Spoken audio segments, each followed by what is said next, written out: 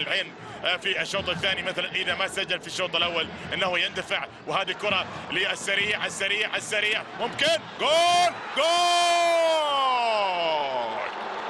جول! عيناوي من اسبريا اسبريا سرعة نعم. طلب الكرة من عمر. وعمر في المكان السليم. عند عمر عبد الرحمن الكرة.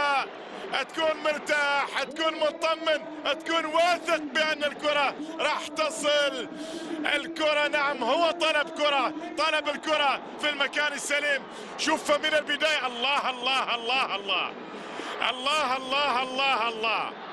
عمر عبد الرحمن يحول الصعب إلى سهل. هذا اللي حدث.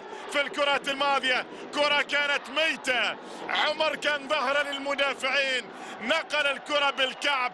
وصلت الكرة لأسبرية. وأسبرية بالتالي تقدم بسرعته. وسدد في الشباك. وسجل الهدف المنتظر. هدف عيناوي منتظر نعم.